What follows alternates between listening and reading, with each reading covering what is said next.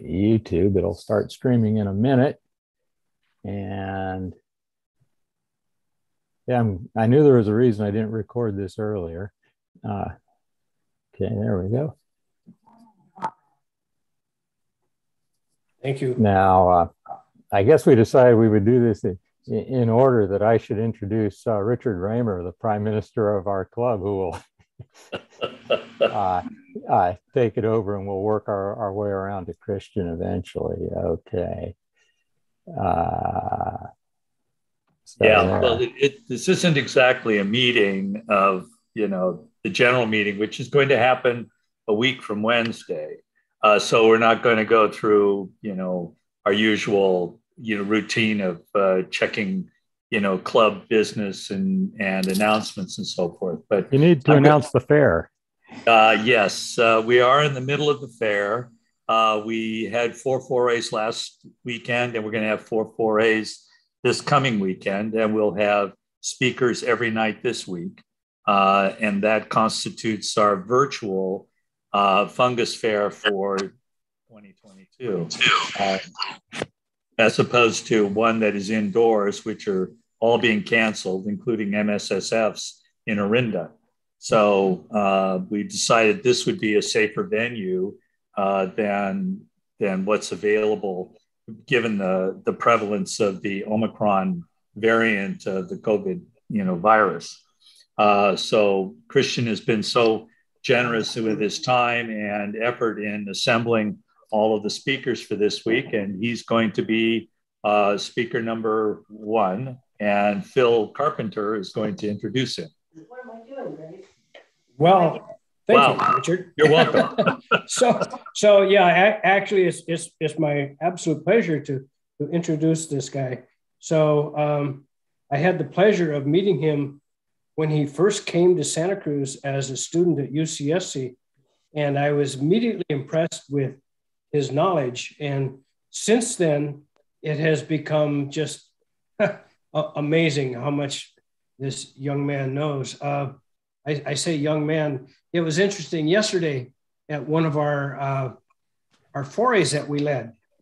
A man came up to me and said, "Well, I was really excited to come to this foray because I wanted to meet Christian Schwarz, and I was expecting this older guy, and here's this young man. it's like, uh, yeah, you know, he's an incredibly accomplished uh, person. I've had the personal pleasure of of working with him, being on many forays with him when they were writing their book, uh, teaching classes together. So, uh, with that, uh, Christian, please take it away. If Christian is here. He's I here. am here. Yeah. Oh, hi, everybody. Uh, thanks for that uh, introduction, Phil. Um, it has been my pleasure to know Phil and actually the whole Fungus Federation. Um, wait, can you? I just got a request to start my video. I'm assuming you can see me now. Uh, I don't see you. Not yet. No. That's why I asked. Do you see me now? No, you still got me on the screen, and you don't want right. To... Yeah, let me. Uh... Oh, remove spotlight. There we go. There, there you go. go. There you go. now, now. looking. now you on the screen. it has been uh, my pleasure to know Phil since day one in Santa Cruz. He was uh, the very first member of the Federation that I met because I brought uh, Bolete down from campus to uh, the meeting at the Harvey West Scout House. And I didn't know what it was. And Phil took it from my hands and took a big old bite out of it, which really shocked me because I didn't know anything about mushroom safety at the time. And uh, he told me it was bitter, and so it was Caloboletus marshii, Ben's bitter bolete. And uh, then I met all the rest of you, Richard and Dan and uh, Margaret and Debbie and all the rest of you. So I have had the pleasure of being um, a member of the Fed since very early on. And it's sad that we missed the fair last year. And I'm glad that we're doing this instead this year to sort of fill in the gap that I think for a lot of Santa Cruz, that's like a major cultural event that happens in January to look forward to. Um, everyone expects to go to the Louden Nelson and to see hundreds of mushrooms on display, but uh, the Myco Blitz is what we're doing instead this year. So for those of you who don't already know, we're doing a version of collecting mushrooms by uh, virtually aggregating the mushrooms you find. If you go out in the woods and if you make observations of fungi on iNaturalist, they will be automatically aggregated into this project called the Santa Cruz uh, Fungus Fair Mycoblitz. And so we'll sort of have a friendly little competition, a little project to see uh, how many species can be found in our county in this little window of time that we think of as a mushroom holiday, the Fungus Fair. And uh, we'll also sort of see how many how many species we can get. So it does uh, give us a little bit of data to work on um, for folks who are assembling the mycoflora of Santa Cruz. Um, that's something I'll talk a little bit about in a second here, but I encourage you to participate in that. If you don't already have the iNaturalist app, uh, download it for your phone, make an, uh, an account, and get out in the woods and just observe mushrooms. That's all you have to do. You don't have to join a project. You don't have to follow any protocol. Just get out there and see what you can find. I think David Kurtz says there's about 4,000 observations of mushrooms already on our MycoBlitz project just for the past week. Um, Dan, did you happen to look at the species count sometime recently? I can't hear Dan. Dan, you're uh, no, I haven't. I haven't, but I'm pretty sure it's it's it was it, nearing it's 500. growing. Yeah, it's probably nearing 500. Huh? that's pretty amazing. Um, so, anyways, that's the the MycoBlitz that's happening on iNaturalist right now. I do encourage you to to contribute to it. It's easy and it's fun. But tonight I'm not going to be talking about Santa Cruz. I'm going to be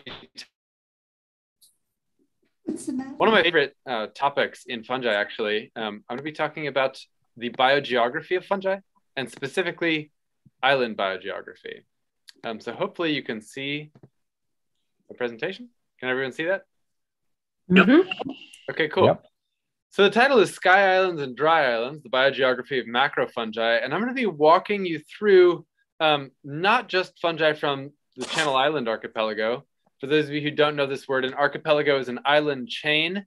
And the Channel Islands of California, which some of you have probably been out to Catalina or possibly Santa Cruz or Santa Rosa, these are uh, California's very own archipelago. And I'll be giving you a little bit of background about the archipelago itself, uh, as well as what fungi we found out there, and contrasting that with a different sort of island, and then sort of drawing some conclusions, or not really conclusions, perhaps just asking more questions about what that means for our understanding of fungal biogeography in general. So to start with, uh, when we think about the biogeography of islands, and just to, to define our terms here, biogeography is a pretty self-explanatory word. It comes from two roots: bio, life, uh, living creatures, and geography is the study of land um, or maps. So this is the discipline of science, the discipline within biology that focuses on where the geographic uh, extents of different species are, where they live, um, and why they live there. Um, and that's sort of what biogeography aims to investigate. So islands, as you might expect, are a classic laboratory for investigating these questions because they are so extreme in their discreteness. They are separate from other land. So you can ask almost uh, questions that have been standardized for one variable. You can say, okay, this is a piece of land very far away from any neighboring land. What effect does that have on the diversity of species there? And what sort of filters does that distance uh, represent for organisms that can't cross the barrier in between the mainland and the island? So some fundamentals of the, uh, the study of island biogeography. In general, we think that as the size of an island goes up, the diversity of the island goes up. So a bigger island, all other things being equal, will have more species present on it than a small island. Likewise, the more remote that island is, uh, the less diversity it will have. The closer it is to a mainland, the more diversity it will have. And that has to do with dispersal from the mainland. So, one of the ways that islands get their creatures is by the chance dispersal of creatures from the mainland to the island. For birds, they're flying. For um, plants, seeds may be floating on the wind. For fungi, it's spores that are dispersing across the ocean. Um, for other organisms, it's a bit more mysterious. How do salamanders disperse from the mainland to an island? It turns out that one of the main hypotheses for how some some salamander dispersal has occurred is through big storms on the mainland washing rafts of logs out from the forest um, down creeks and out into the ocean. And eventually, if they are lucky enough to float to an island and land on a beach that the salamander can disperse off of. Um, that's one of the ways that we think that uh, organisms like that have dispersed. Um, but that just goes to show you how random, how stochastic, and how chaotic and uh, based on chance these dispersal events can be. Endemism. This is a word that refers to, this is a, a major theme in biogeography, is the idea of endemism. Endemism just means an organism that lives in a particular geography or a particular area and nowhere else. So this is a word that's frequently misused because everything is endemic to somewhere. We're all endemic to Earth. As far as we know, there's no life outside of our biosphere. Um, folks, if you're not muted, just make sure you're muted. I'm hearing some background noise from somewhere. Um, but endemism from the perspective of islands has to do with island endemism. So we ask questions about whether or not there are organisms that live only on the island where we discover them. And this is really common for birds. There are uh, island endemic birds, there are island endemic plants, there are island endemic uh, salamanders, there are island endemic spiders, snails, as you'll see. But the question that we have to ask as mushroomers is whether or not there are island endemic fungi. Um, and depending on which island you're talking about, the answer is definitely yes. Um, but we don't actually know the answer yet for California's Channel Islands, for the California archipelago. We don't have good solid evidence that there are endemic fungi uh, to any of the Channel Islands. And we'll talk about that in a little bit. Um, and then the question of disjunct, that is just a word meaning separation. Um, how long have the land masses been disjunct? Because islands were not necessarily always islands. As we'll see in the case of the Channel Islands archipelago of California, uh, of California, um, those islands were actually quite a bit larger when sea levels were lower, and they were quite a bit closer to the mainland, practically connected. So they weren't as isolated um, of islands as they currently appear to be. So we're going to back up now and talk about not necessarily island biogeography, but one of the earliest theories in microbial biogeography. So this has to do with bacteria, this has to do with fungi. For a long time, people thought that because their spores are so small and so effective at dispersing on the wind, that probably every species was more or less everywhere. And the only difference that could account for uh, different communities of mushrooms in different places was that the environment was different different trees, different uh, temperature regimes, different rainfall. Um, if only those conditions would change, you could find virtually any mushroom anywhere. But we don't really believe that anymore. So Kabir Peay is a researcher from Stanford um, who worked with Tom Bruns for a long time at UC Berkeley. And a lot of his research, his academic research, uh, is about island uh, biogeography of fungi using disjunct pine groves in the midst of meadow settings, acting as sort of pseudo islands. So, not a typical concept of an island, but from a fungus's perspective, um, having one pine tree a 100 meters or a, a kilometer away from the nearest pine forest is an island. And so, a lot of what Kabir does is sampling the soil around these pine islands um, and asking whether or not those communities follow the same predictions as classic island biogeography would would presume. Um, and not only Peay, but many other people have investigated whether or not this original microbial biogeographic hypothesis uh, bears bears out once you examine the real world. And the answer is certainly not. We don't find that all fungi are, are everywhere. Um, it kind of sounds absurd to us now, but for a long time, people more or less believed this. Um, there is actually quite a bit of structure, geographic structure, in where we find different species which is not surprising, shouldn't surprise us. Uh, there's a lot of reasons for that. Some of it is biological, so their host plants don't live in a certain place, which you could say is the environment, but there's also historical reasons. Um, land masses that were connected in deep history or that were separate in deep history um, are part of the reason that we see the patterns of all sorts of organismal biogeography, but it, it goes for fungi as well. So the California um, archipelago, or the Channel Islands as it's also known, I'll use those two terms interchangeably, were in the deep past um, a paleopelago. Um, so this is not the islands we're familiar with today. They were actually one big island called Santa Rosa. And as sea levels rose in recent, well, relatively recent geologic time, um, that flooded some of the lower lying places on Santa Rosa Island and created this sort of island chain that we see in the northern part of the Channel Islands archipelago. I'll show you a map of the entire archipelago in just a second here, but the Santa Rosa chunk of it is the four northern islands that I'm going to be focusing on today. So overall, the entire Channel Islands uh, archipelago is about 119 kilometers in extent. Um, and the area of land that it accounts for, so all the islands are of different size, but if you add them all together, you get about 1,300 square kilometers.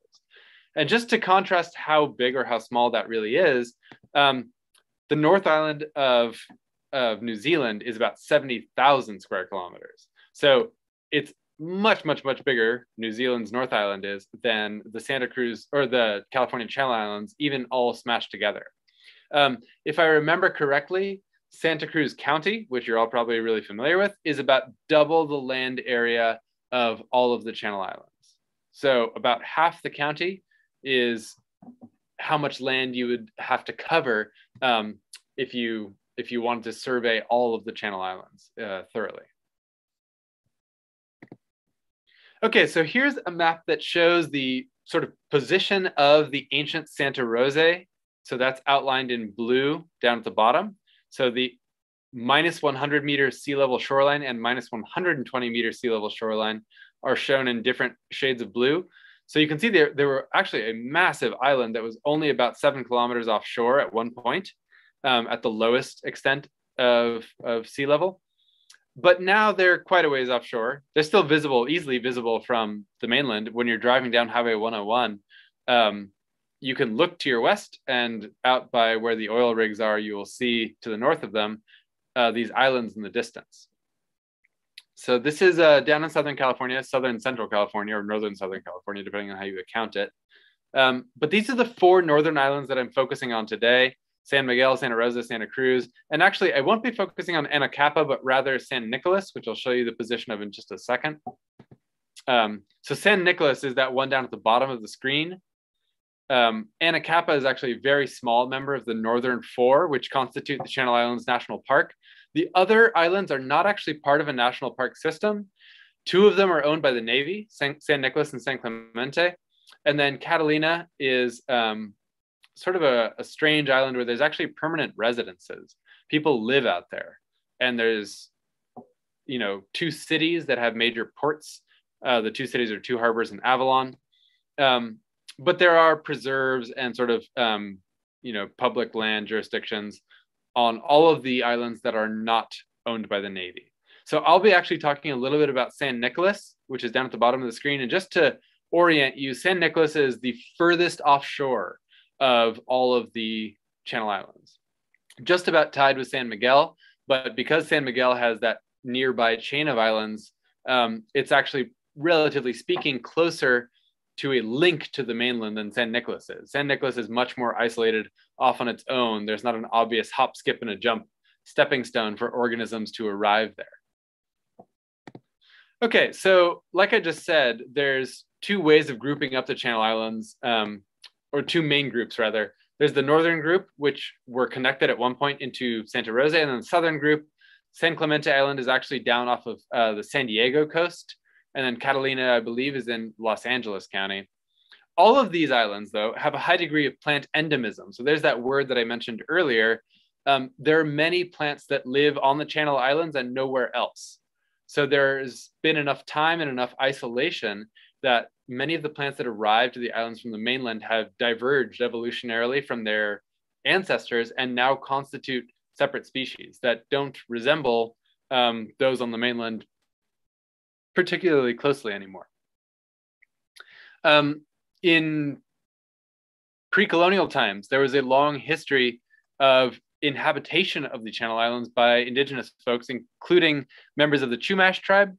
Um, and they would take tomols is the name of the boats they would dig out of redwood logs and paddle them out there, which is an incredible feat. Um, the, the channel is not always easy to cross especially if you're in a big, blunt faced, heavy canoe. But they did it. Um, and they turns out that they played probably a fairly important role in the character of not only plants but animals that are, are found there now. The recent history of human interaction with the Channel Islands, unfortunately, includes some pretty intense disturbances. Um, so after um, Europeans arrived in California, one of the first things they did on the Channel Islands was to introduce grazing animals, namely cattle, goats, sheep, and in some cases pigs as well. And this was a, a big catastrophe for the Channel Islands. The grazing activity of these animals, in some cases, nearly decimated the entire vegetational landscape of some of the islands. So I'll be talking about San Nicolas in a little bit, but San Nicolas was virtually sterilized. There was almost no green plant life left after um, a combination of drought and grazing took its toll. Um, the other major disturbance that humans have had on the Channel Islands in recent times is military activity. So San Clemente and San Nicolas are both uh, Navy owned, and San Clemente, at least, is an active bombing range, both underwater and on land. So planes drop bombs on the island throughout the year, every year, and submarines bomb the underwater parts, parts of the island throughout the year, every year in my opinion, this is virtually um, one of the greatest sins we can we can be doing is to take sort of a precious jewel of biodiversity and use it for bombing. Um, it seems really squandering sort of one of the most unique and and beautiful uh, aspects of California's natural history. But such is the world we live in. Some of the important plants from a fungal perspective that are found on the Channel Islands are those that are ectomycorrhizal. So for those of you who have been in the world of mushrooms for a long time, know that this is one of the most critical relationships to understand um, between fungi and plants, because it structures where you're going to find any particular species of mushroom that you're looking for. Um, this is the association between a woody plant host and a fungus underground, in which the plant exchanges sugar that it produces via photosynthesis uh, for resources from the fungus, which absorbs nutrients like phosphorus, nitrogen, water from the soil. So some of the main ones on the Channel Islands that are really important are Torrey pine and bishop pine. I'll show you a picture of bishop pines, or sorry, Torrey pines in just a second, um, as well as some manzanitas. There are some manzanitas that are endemic to the Channel Islands, which is to say that they don't occur on the mainland at all. The only place to find these manzanitas is on one of the islands. Uh, there's also some oak species that only live on the Channel Islands. Quercus tomentella is um, the island live oak. And it probably has endemic fungi that live with it, but we have not yet gathered enough evidence to say that for sure. We haven't found what those endemic associates are of these um, island endemic hosts. So that's one of the major research goals of anyone who goes out to the Channel Islands to look for fungi. So on the left, there's a picture of me standing under one of these uh, endemic island oaks. That's Quercus tomentella with a little bit of a bishop pine in the foreground. And on the right, you see a sprig of manzanita, and that's one of the island endemic manzanitas. Um, for those of you who don't know, manzanitas are a shrub, very hard wood, very beautiful red trunks um, in the blueberry family.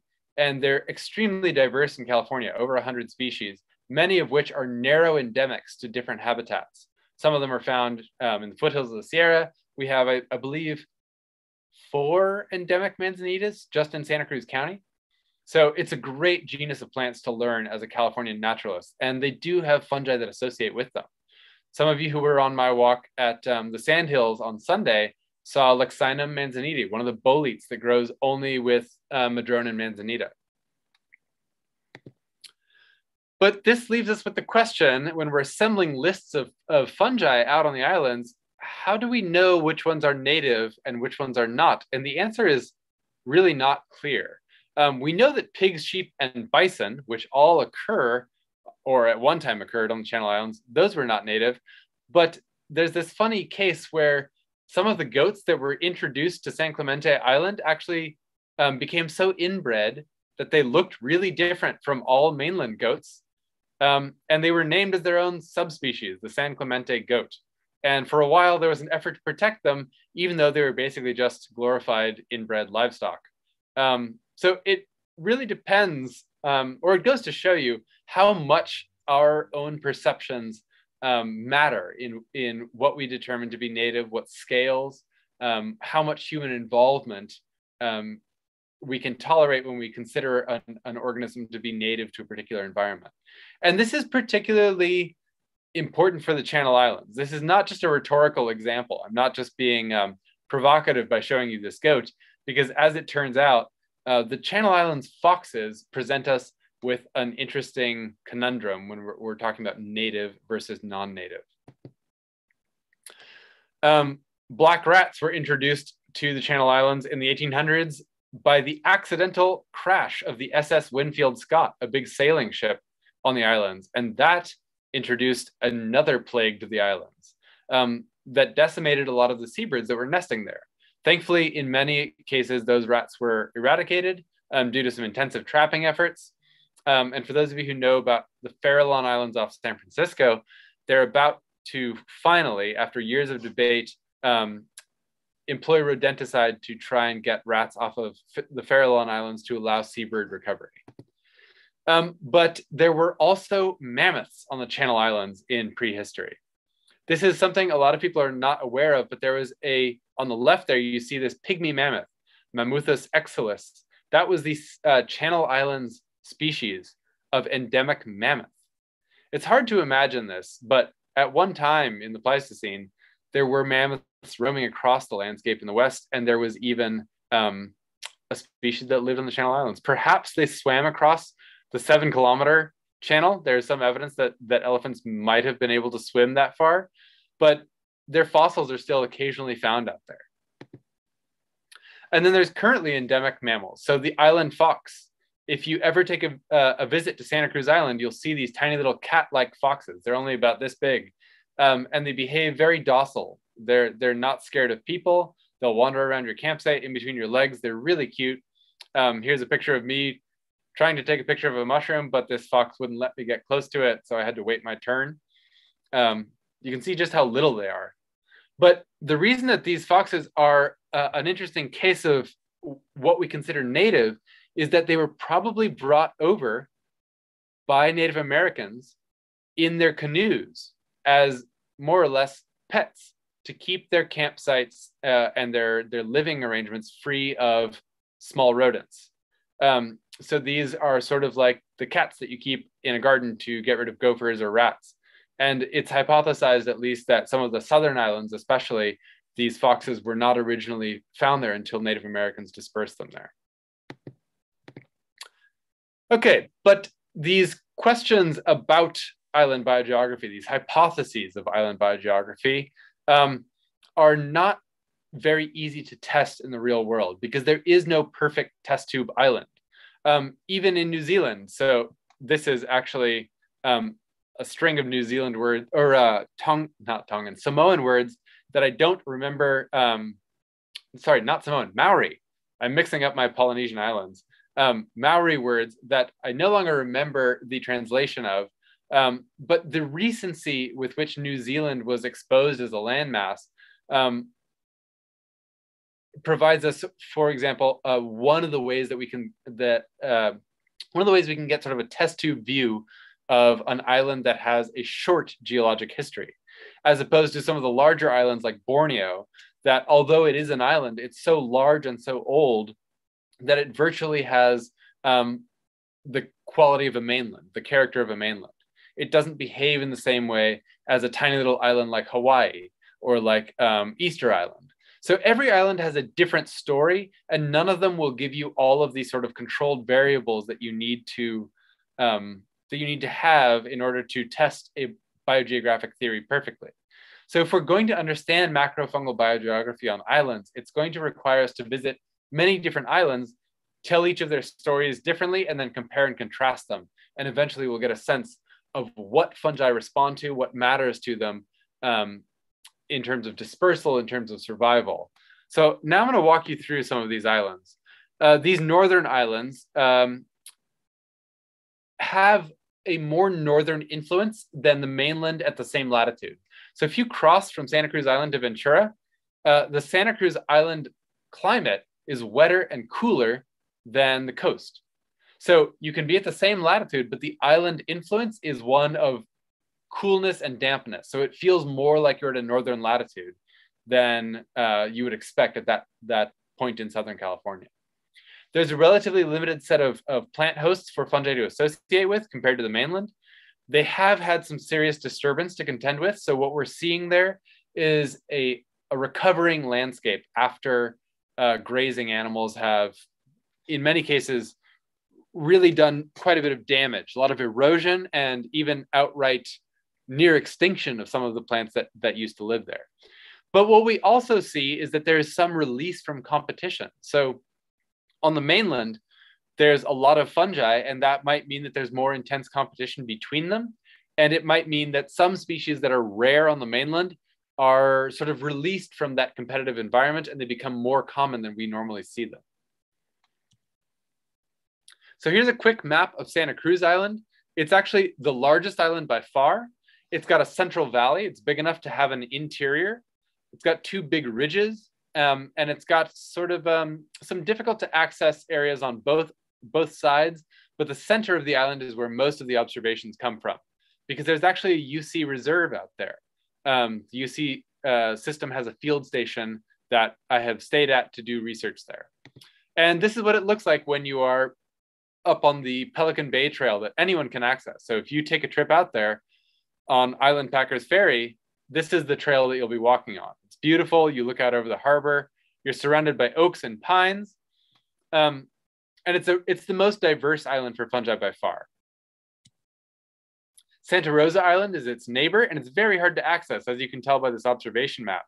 You can really only get to the northwest side of it, or sorry, the northeast side of it. Everything else is quite rugged, quite difficult to access. Um, but this is some of the most special habitat on Santa Rosa Island is this grove of Torrey pines, uh, right where you land. So you can take a boat out to Santa Rosa as well and even camp out there. Anyone can go. Um, and these Torrey pines are one of the rarest conifers in all of um, the Northern Hemisphere.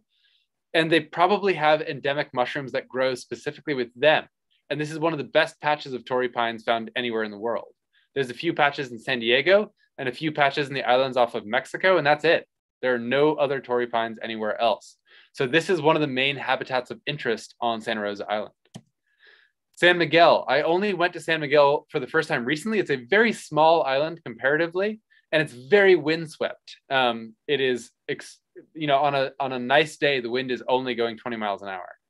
Um, on a bad day, the wind might be 40 miles an hour all day for three weeks. So it's a difficult place for anything to live, especially plants, and that means especially fungi. Fungi have a hard time making a living in a place where there's no plants and a sort of a constant drying wind. There's no trees on San Miguel Island. There is not a tree to speak of. Here's what it looks like. So this is during the summer when everything is gray and dry. Um, not a lot going on here from a plant perspective, and certainly not much going on in the middle of the summer from a mushroom perspective. But there are small canyons that stay wet and there's perennial seepages. And this is the area where you start to find mushrooms on the decaying vegetation under the endemic island loco weeds and golden bushes. Um, any, any of the decaying shrubs um, that accumulate leaf litter can be a place where you'll find mushrooms. So what does the academic research on the mycoflora of the Channel Islands look like? Well, there have been a very few cursory trips. Historically, there haven't been many people who've been out there. They have produced relatively few specimens. There are virtually no accessible photos for the longest time until in the past 10 or 20 years, community scientists, people who are not professionals necessarily, have started making trips out and doing focused documentation of what they're seeing. I know that I think Joanne Schwartz is in the uh, meeting tonight, and Joanne is one of the main people who's been doing this. She's been going out to Santa Cruz, Santa Rosa Island, and documenting, vouchering, photographing, uploading to Mushroom Observer. Um, so we have people like Joanne to thank for the recent boom in records of macrofungi from the Channel Islands. So almost all records that we have of mushrooms from the Channel Islands have come in the past 20 years and really in the past five or 10 because of people using iNaturalist and other community science platforms to record and to share what they're seeing. So what do we know now? Well, this is the iNaturalist project that I've set up to aggregate people's observations um, from across the archipelago. At the moment, it stands at about 1,600 observations, which is not very much compared to the mainland. But the reason is because it's hard to get out there. You can't always guarantee access to the islands. Um, sometimes the, the ocean conditions are too choppy and your boat is canceled. Um, a few of the islands you simply can't go to at all because they're owned by the Navy and there's no public access. Um, even the islands that you can go to, only a few of them allow camping, and they usually only allow camping in the summer, which is not mushroom season. So it's hard to get records from the Channel Islands, which means that if you ever go there in the winter as a member of the general public, your observations of mushrooms there count doubly, triply, quadruply valuable compared to any observation of a mushroom you could make on the mainland. Each and every observation that anyone makes on the Channel Islands is treasure from a research perspective. We need people who visit the Channel Islands to take this, this sort of mission um, as a sort of detector and um, sharer of what you see. So I want you to to feel that that's sort of your responsibility, your duty as someone who visits the Channel Islands is to witness what lives there and to share it with the rest of us because it takes really all of our efforts to get a good picture of what's happening out there. Um, 241 species. Now, that is only the set of species that are currently represented on iNaturalist.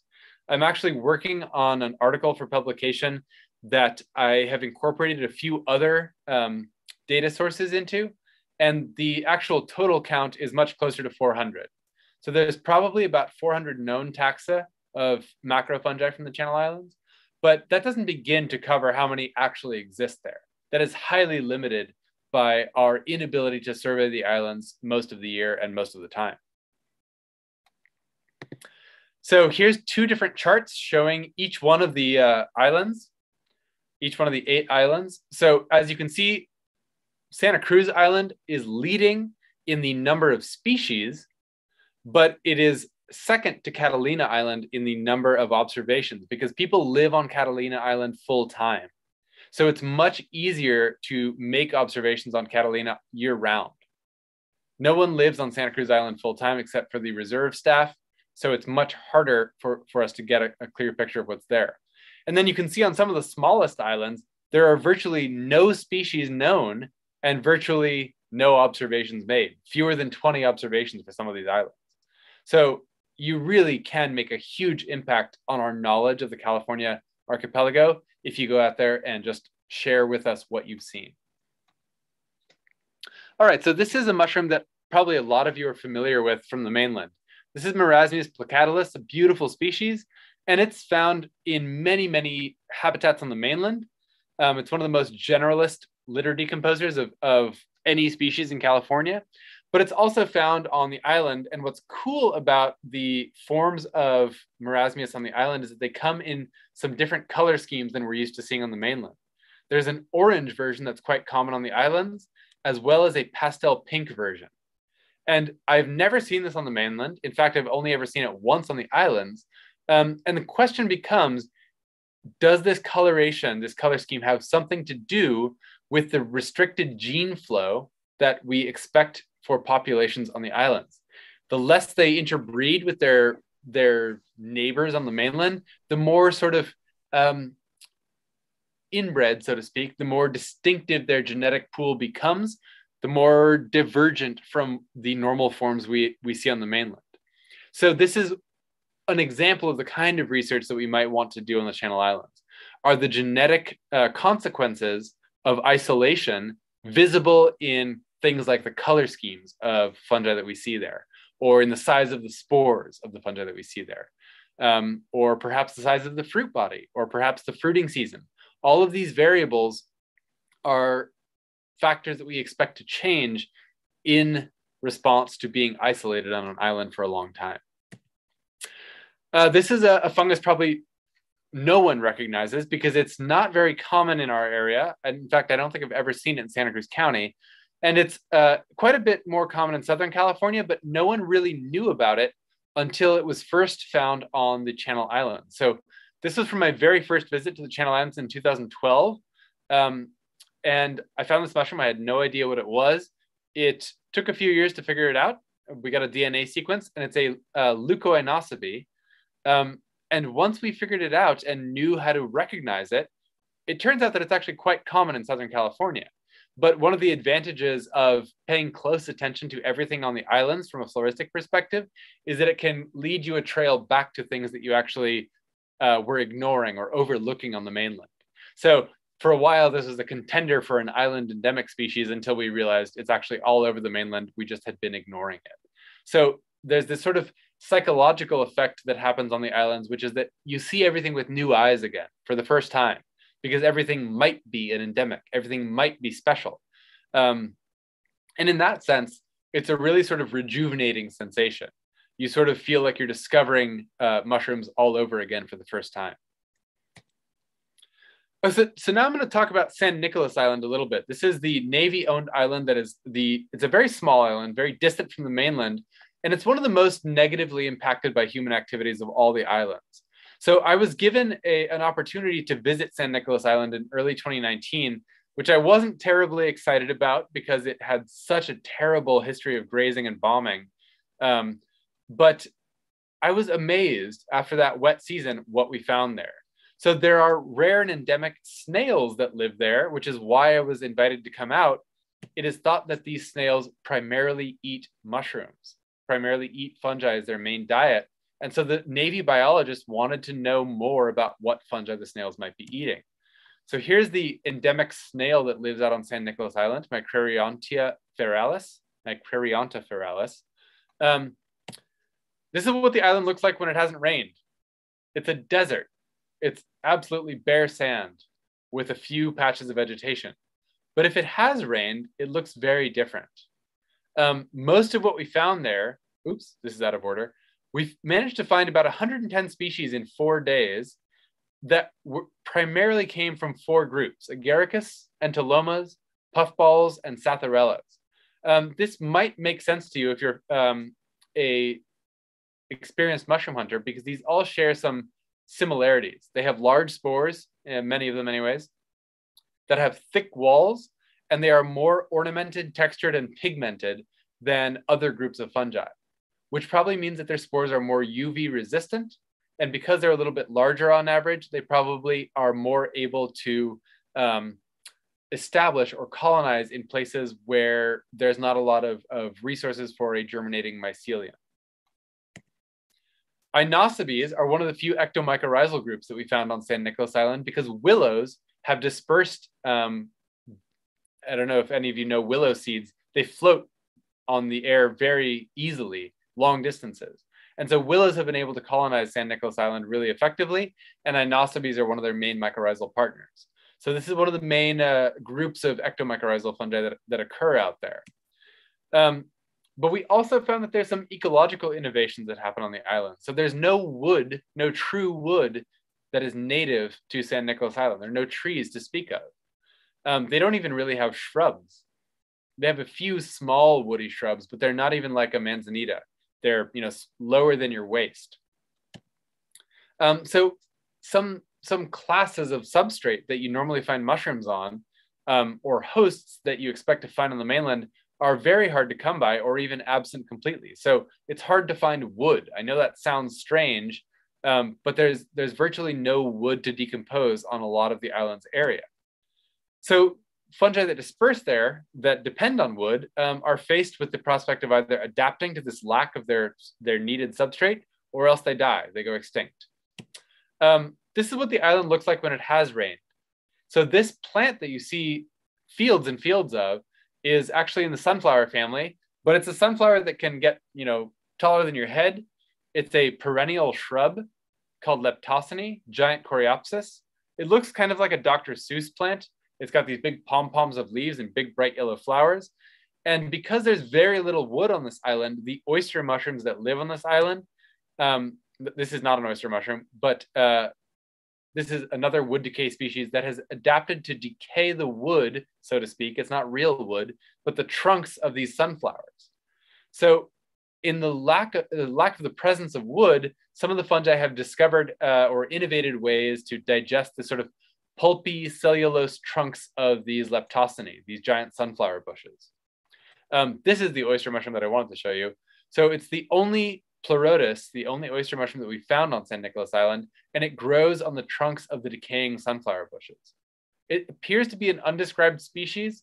We don't exactly know what its relationship is to a few New Zealand species. Um, it may be very similar to uh, Pleurotus parsonsii, which grows on flax trees, which are also not true wood in New Zealand. Um, but it may be an island endemic as well. We're not sure yet. Um, I brought a few of these oysters back to Justin Pierce, who some of you know, who's a mushroom cultivator, and he managed to bring this oyster mushroom into cultivation in the labs at Far West Fungi. And this is what it looked like when they fruited. So I went down there about two or three months after I took him the first sample, and he had fruited it on sterilized uh, grain and sawdust. And it produced um, very small fruit bodies, just like what we saw in nature. Not the big oyster mushrooms you expect to see growing on willow and oak, but very small and very peachy, almost uh, pink and yellow tones. Um, funny enough, I took a few of these fruit bodies down to Lupulo, um, where I was meeting with Phil one afternoon, and I handed them to Phil, and Phil took a big bite out of them and said they tasted kind of bitter and farinaceous and not very good. So thanks to Phil, we now know that this is probably not um, a particularly delicious edible oyster mushroom, but it is curious to know that there is potentially an endemic oyster mushrooms mushroom on the, the uh, Channel Islands. Um, however, we still have to distinguish it uh, for sure from the New Zealand relative, as well as determining whether or not it occurs on the few coastal patches of mainland sunflowers. Here's um, not an endemic, but it's an example of a fungus that has switched its host association um, as compared to the mainland as to the island. So this is a rhizopogon, which any of you who are familiar with rhizopogon know that they're associated with pine trees, but that is not the case for this species. This is rhizopogon oop, mengii, um, and it grows with manzanita, Arctostaphylos, one of the very few rhizopogons that does not grow with pine. And that's probably another example of a species that had to figure out a way to adapt or to die. Um, rather than go extinct, it just switched its host association to a different plant than it normally associates with.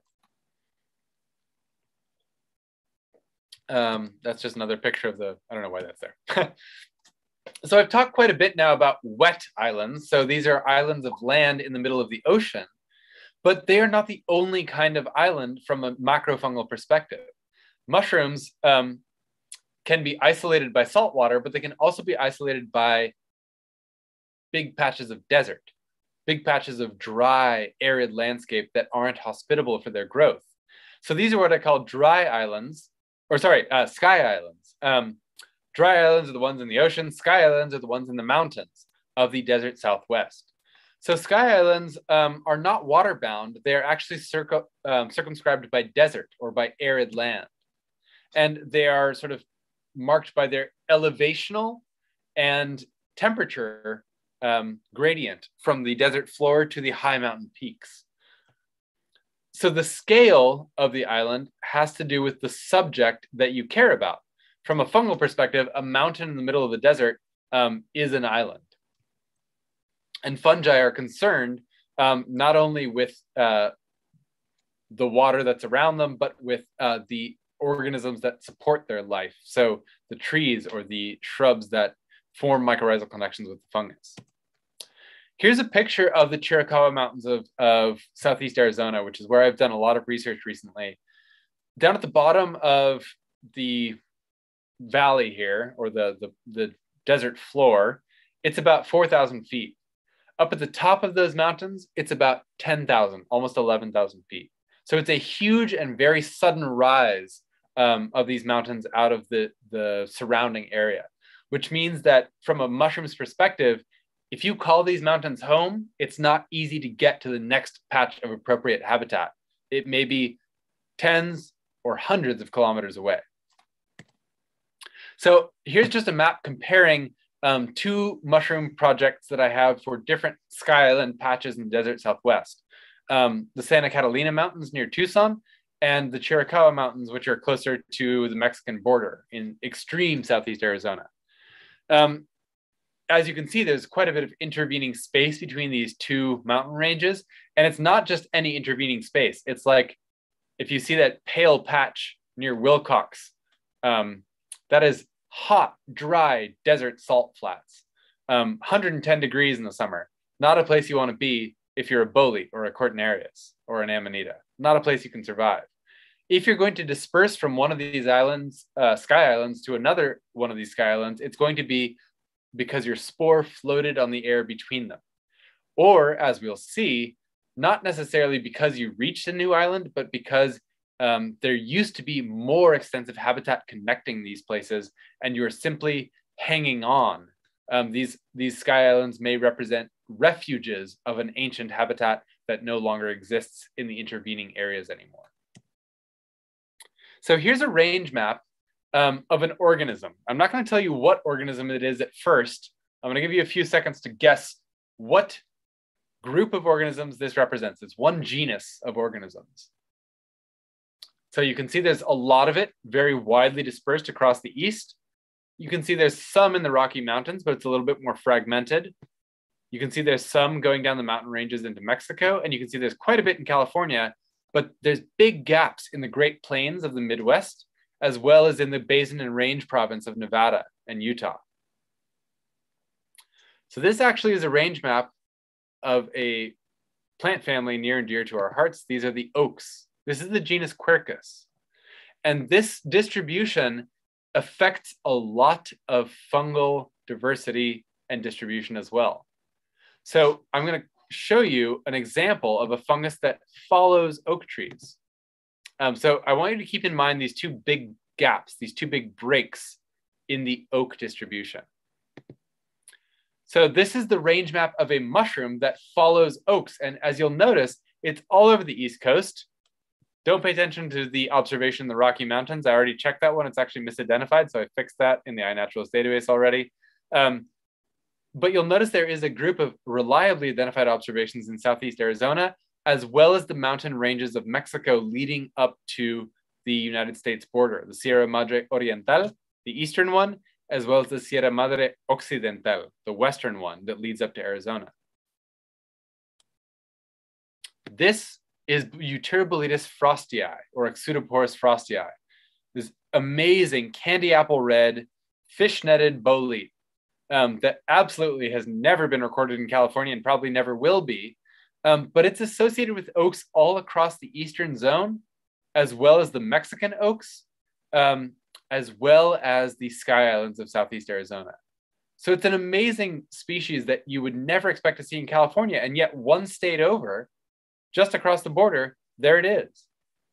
This is a surprising distribution, but it makes sense when you understand that this whole area used to be one contiguous forest of oaks in cooler, wetter periods in, in ancient um, biogeographic history.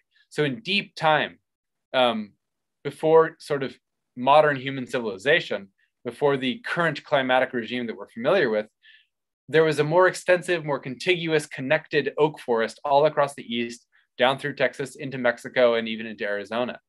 But in recent times, the climate has dried out, has become warmer, and a lot of that oak zone got thinner and thinner and died out.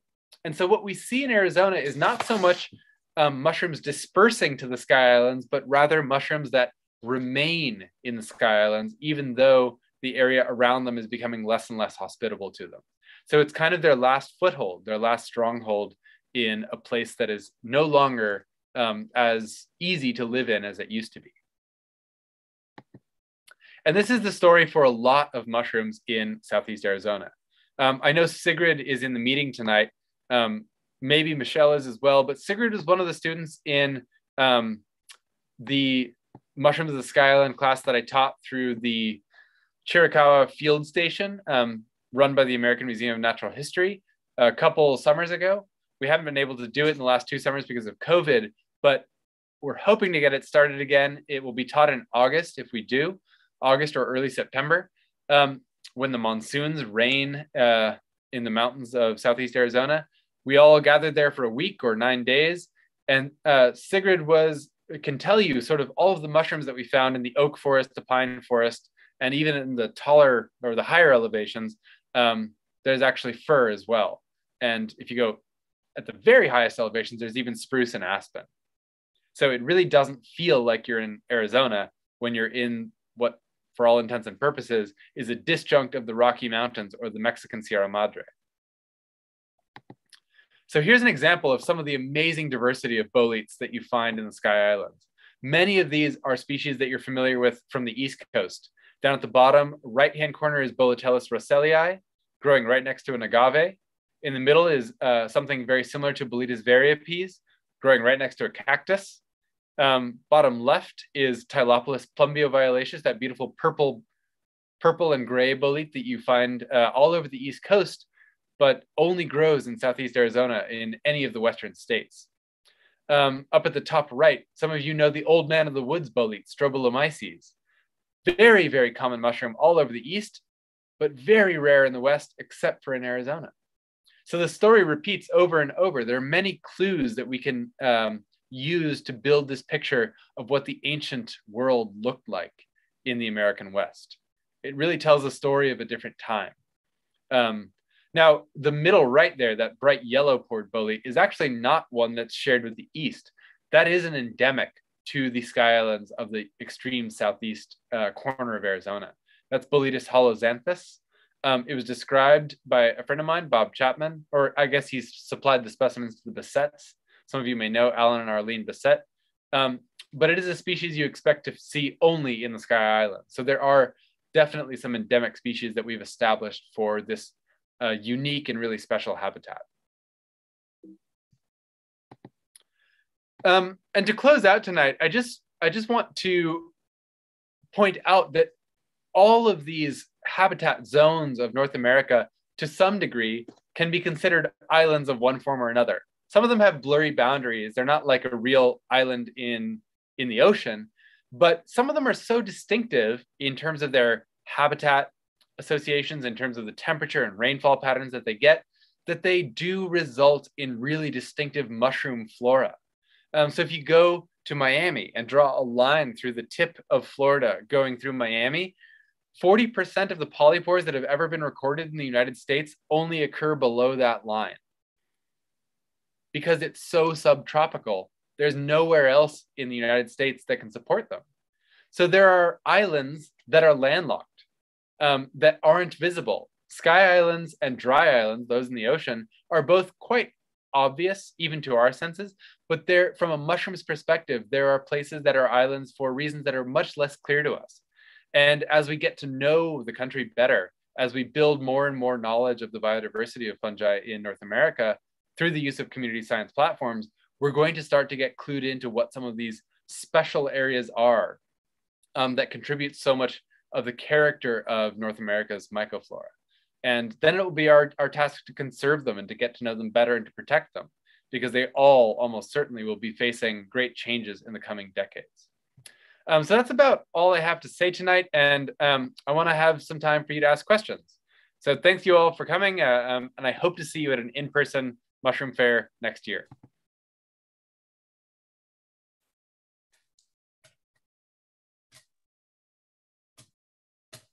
So Dan, you can read um, questions out of the chat, or folks can.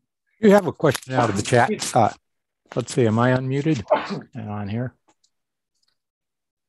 Sorry about that. I got my computer crossed up. Uh, I believe uh, uh, Felix Austin had a question. Uh, maybe he'd like to unmute and ask it directly. Are you there, Felix? Uh, yeah, sure. Can you hear me? Yeah, I can hear you. Yeah, no, I was um when you were talking about uh when you were wondering whether I forget the name, whether this one species on the Channel Islands was a distinct species from its relative on the mainland. I was wondering, um, and this might be a very novice question, but how would you actually test that?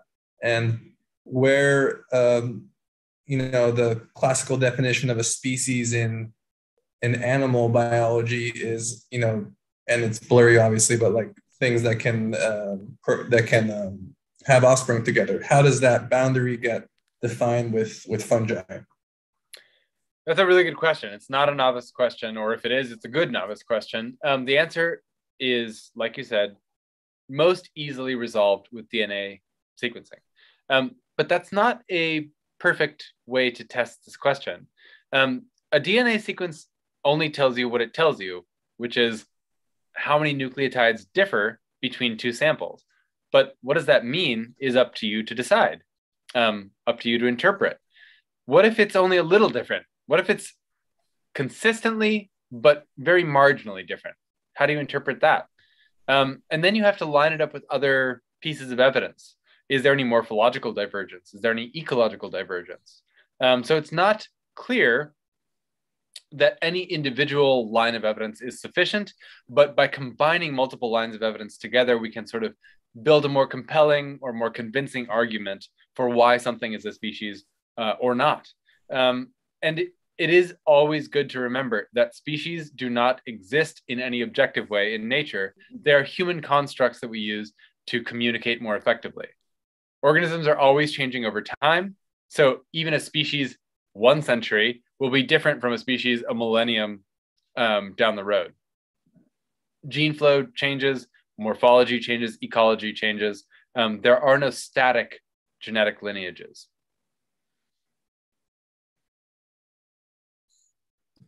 Thank you.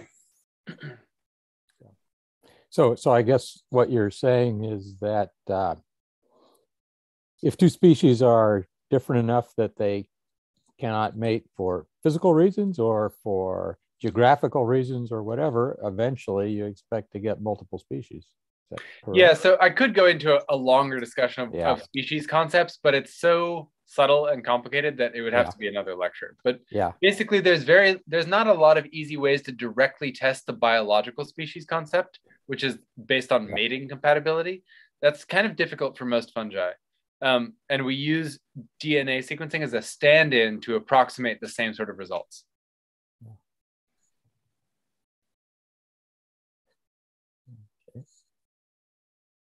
see, any other uh, questions from the group? Feel free to unmute and throw in some comments.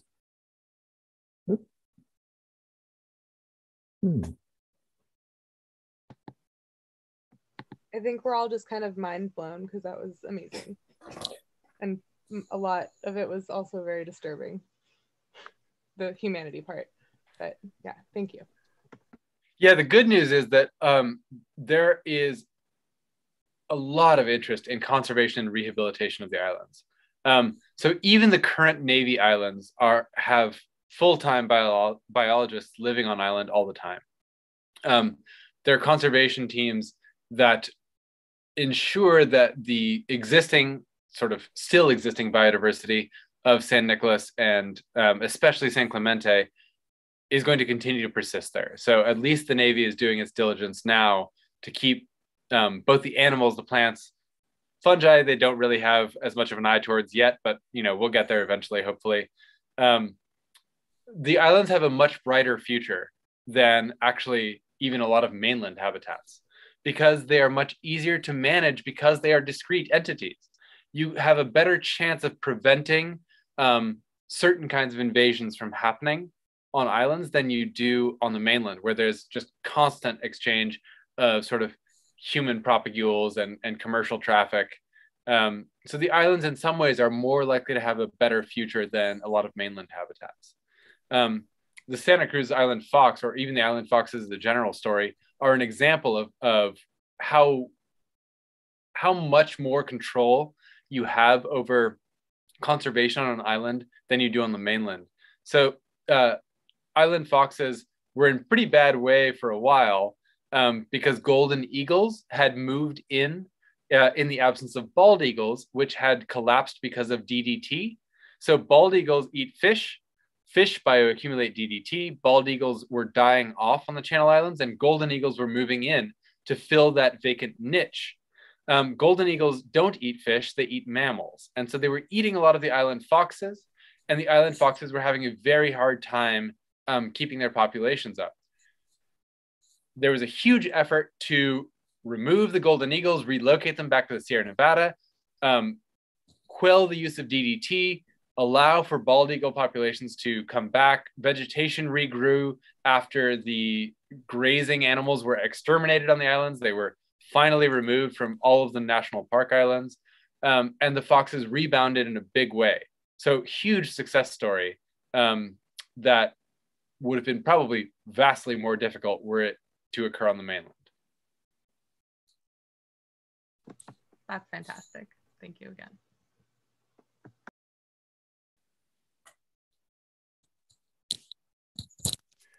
So Joanne, because you're here, do you want to add anything? You're you're another island mycologist. Tell us about your experience on Santa Cruz. We've been out to Santa Cruz. Thank you, Christian. Sure. We've been out to Santa Cruz, I don't know, about four times for four or five days each. And uh, hopefully we'll get out again this month or early next month because the rain's been so good. Um, we've focused on both the oak and the, well, all the habitats. And each time we've been out there, we've found probably about 80% new fungi, new species. And uh, we've got about 100 of them now out for DNA barcoding. So we'll see what the names really are. But we are we're hardly reproducing or replicating what we've seen in the past, which means we're just at the beginning of a study. And between you and us and five others, it'll take us a decade at least to yeah. find them all. Yeah. And, And Joanne, I want to ask you: Have you considered going out to Catalina to try and start documenting in those oak forests? No, I'd much rather spend time on Miguel Rosa and Anacapa, to be honest, where we have seen fungi and all. Um, the two times or three or four times I've been out on San Nick and San Clemente, we weren't allowed to collect, you know, we didn't have the permission you had on Miguel. So we weren't allowed to collect or do any real photography, which just made me cry because we saw a lot. Oh, that's heartbreaking. I, I think I'll focus on the four northern ones. There's more than my lifetime to do out there. That's true. But I want to encourage anyone because I know a lot of people do go to Catalina because it's sort of a tourist attraction. They have some amazing um, oak as well as cottonwood. Um, there's even cottonwoods that live out there. So there's a whole set of fungi that probably don't exist on the other islands. Um, so if you do go out there, please do make sure to observe and share everything you see. Catalina, I think, has the potential to be one of the richest islands for fungi.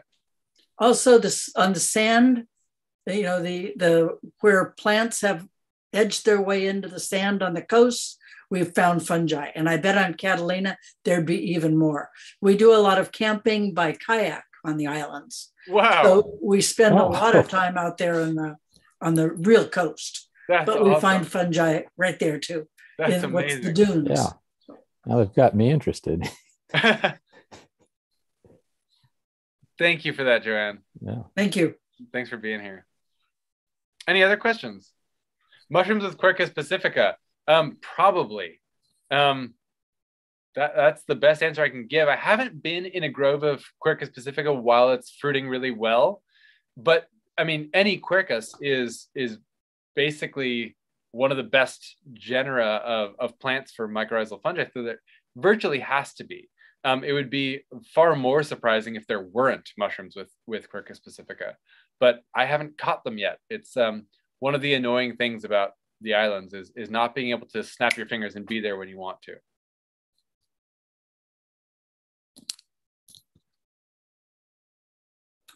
Hmm. There used to be a little um, uh, private company that would fly out um, to the islands, but they, I guess, quit running. Um, so you can only take a boat out to most of the northern islands now. We have been out a couple times in August and September, a number of times in August and September, because it's a calm time for the water to kayak out there. And we've found a surprising amount under the Quercus tomentella, for example, on Santa Rosa, and in August and September. That That's just really doesn't happen cool. to be a time that you or we probably go out now Yeah, because it's low season. yeah. But it's worth it. I, we want to do that I- I- again, only for fungi. It's worth it Plus, you get to snorkel in that beautiful water. for many hours. And to the offshore rocks. Actually, we've never collected on the offshore rocks. Uh, Santa Barbara Island has a fabulous opportunity in the uh, Coreopsis to look on the offshore two big islands off the island of Santa Barbara. That would be fun one day. Yeah, because there are the so actually one of the biggest challenges um, to knowing the islands thoroughly will be West Anacapa. So the problem with West Anacapa is that there is a perennial sort of, or not perennial, but it's a wintertime breeding population of pelicans that no one is allowed to disturb. But West Anacapa has these ectomycorrhizal shrubs that the other part of Anacapa doesn't. So if you want to know Anacapa Islands from a fungal perspective, you're going to have to figure out how to get in amongst those pelicans during the winter. Very unlikely that we'll be get, getting permission anytime soon, but the botanists have gotten permission occasionally. So there's still hope. So, someday we may be able to twist some arms and get out there. Well, they've been able to climb the cliffs. Right. And just like the Hawaiian plant surveys. And that would also be really good for the fungi. Yep. Thank you, Christian. Sure. Okay, so it's now 8:40. If there's not any more questions, I think it's about time to let you all go. But before we do, there's one thing you need to do, Christian. Yeah. Which is uh, introduce I have a question. speakers for the other nights. Oh, go ahead, Felix. Is that Felix? Yeah, since since there's no other questions, I will ask one more. Um, you mentioned uh, that um,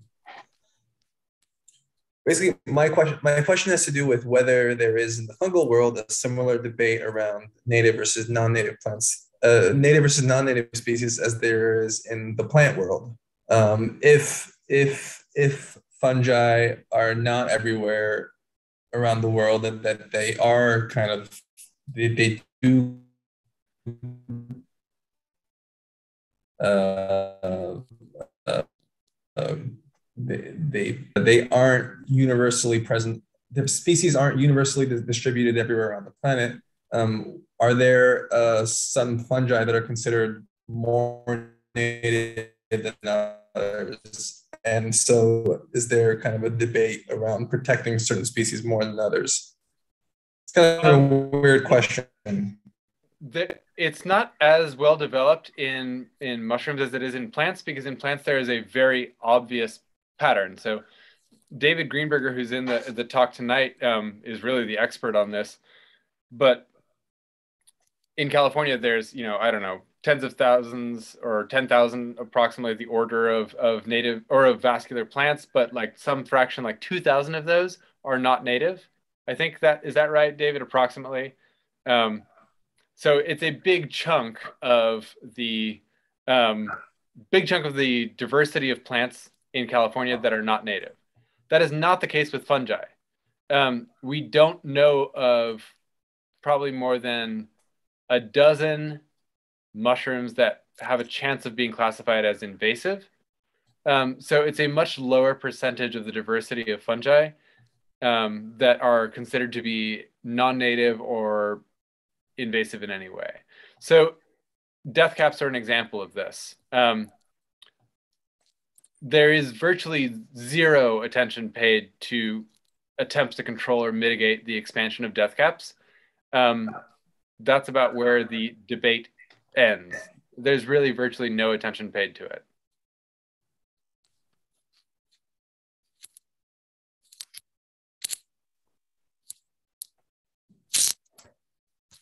I have a question. Oh, go for it. Okay.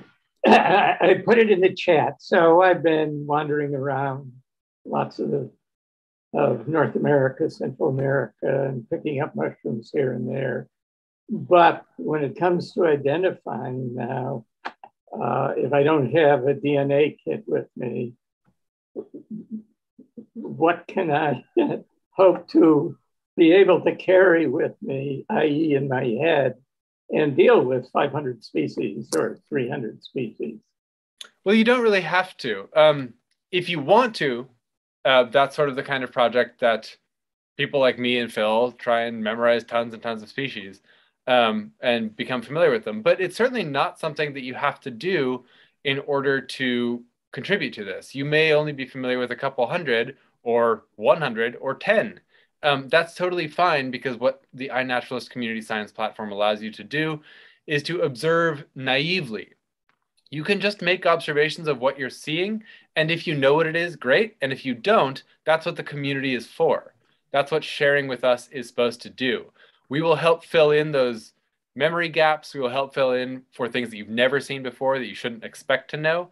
Um, that is sort of, there's more tools to uh, externalize that knowledge and carry it around with you than there ever have been in the past. So you have more helping tools for remembering all those names than have ever been available. You've got um, iNaturalist as one option. You also have sort of downloadable PDFs or checklists of names for what's been found. The publication that I'm working on for Channel Islands macrofungi will serve partly that purpose, is to sort of list systematically the names of all fungi for which there are bona fide documented records on the islands. So you could carry that with you and say, oh, I think it might be one of these 10 things that is known to occur on the islands. Um, maybe you know it's an amanita, so that would give you your 10 or 12 amanita options. Um, so that sort of narrows the range of things you have to remember, if that makes sense. I don't know if that answers your question. Well, uh, no, continuation with it. So I have, say, three mushroom books. Started with the Canadian government's mushroom book in the 60s which was totally impossible because unless you could look at the spores with microscope, you couldn't use a book to identify much. Um, am I now totally antiquated that this sort of wandering naturalist with my three or four books is hopelessly limited in what I can identify? No, I don't think so at all. I mean, I started as the wandering naturalist with three or four books and largely I still am. Um, as long as you share what you're finding, you will have a chance of contributing to this. So your goal is is to find a way to integrate what you're seeing um, with the body of knowledge that we're building. If you use iNaturalist, that's one way to do it, but it's not the only way. Um, there are other ways to share. You can make specimens. You can voucher and deposit with the museum. Um, is that what you're asking? Well, that's half of it. The other half is for my own knowledge. So I'm out there collecting, say, in northwestern British Columbia, uh, behind the coastal mountains, where I've spent time over the last 30 years.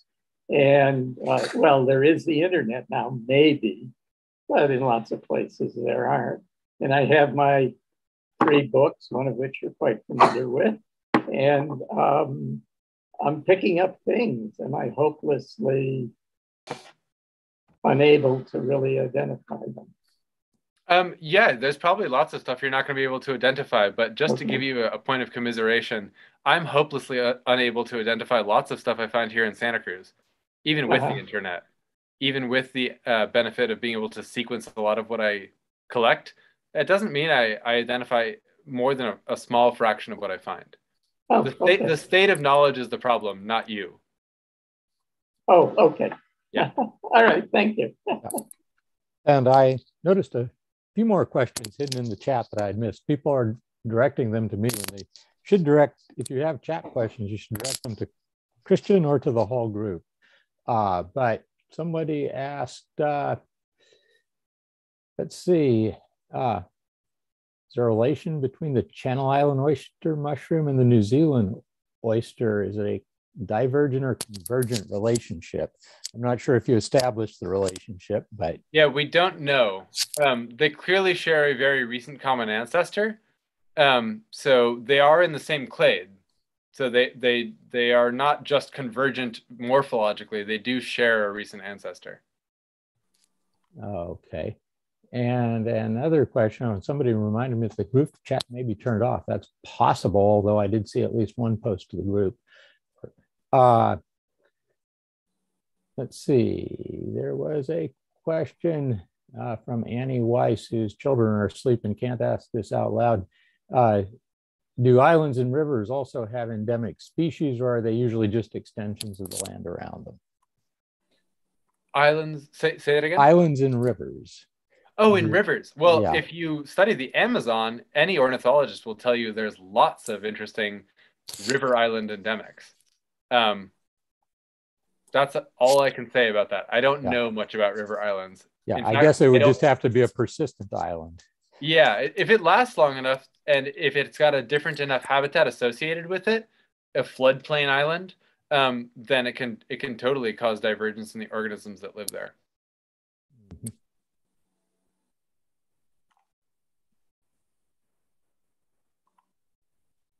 Uh,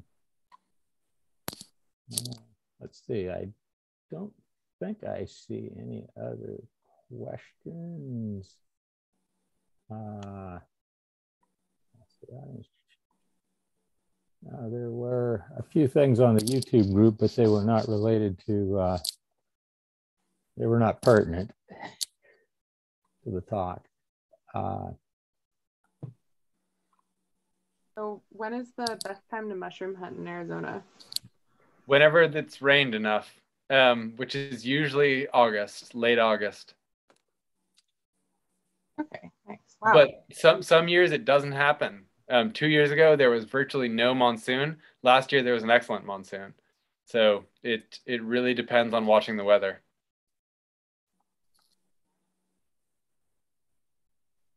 yeah, so you really have to travel on the go. Damn. Yeah, you, I mean, you kind of have to block off the entire month and then just pack a bag and keep it by the door. Right.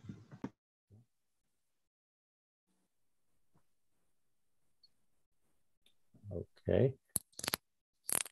We say something about tomorrow night's talk or the talks for the rest of the week? Yeah, well, I mean, I don't know how much value there is in me um, saying them all. You can yeah. see all of the descriptions. Um, I can't remember all of the details of what people are talking about, but you can read them all on the website. Um, I'll put the link in the chat here. Okay.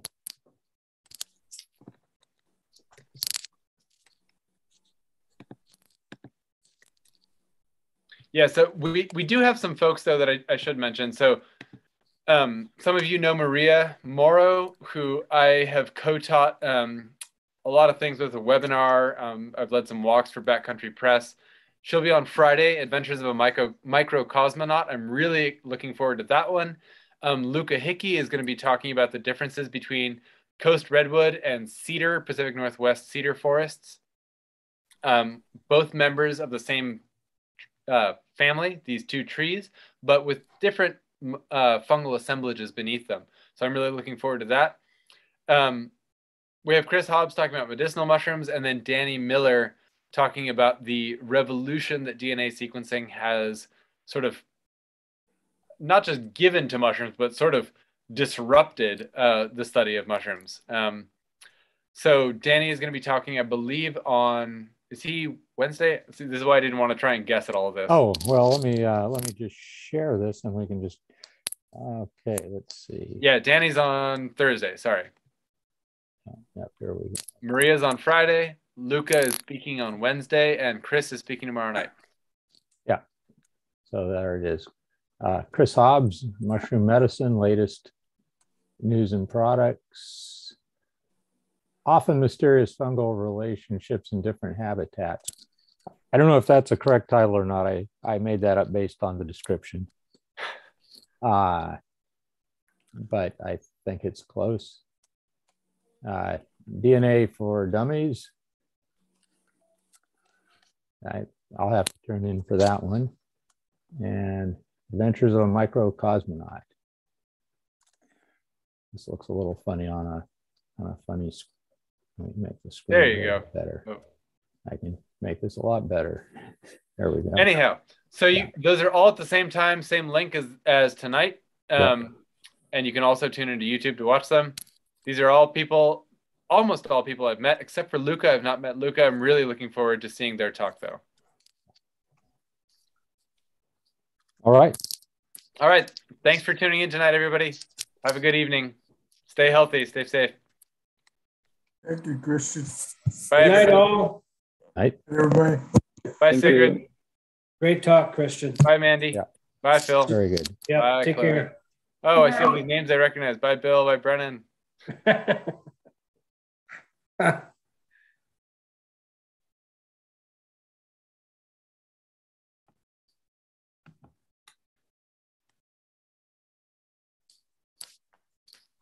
Yeah, I actually see a lot of names from this week's forays. Good. Anyhow, I'll see you guys tonight. Let me